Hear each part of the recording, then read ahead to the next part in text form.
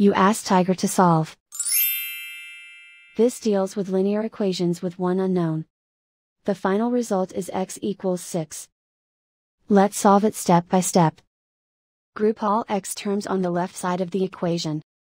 Subtract 10 over 2 from both sides. Group the coefficients. Find the lowest common denominator.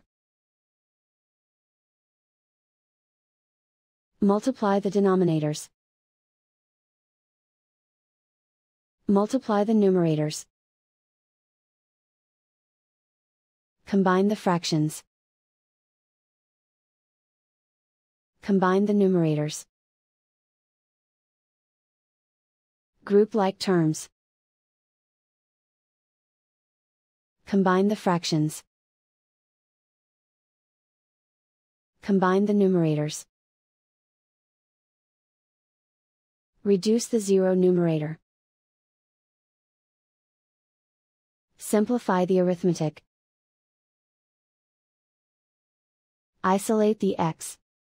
Multiply both sides by inverse fraction 6 over negative 1. Group like terms. Multiply the coefficients. Simplify the arithmetic.